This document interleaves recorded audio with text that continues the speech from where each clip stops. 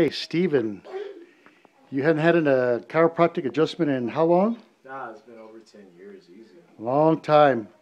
And uh, you were telling me that you've had some shoulder problems and back problems and all kinds of stuff. And so, how do you feel now? I, I can't feel it.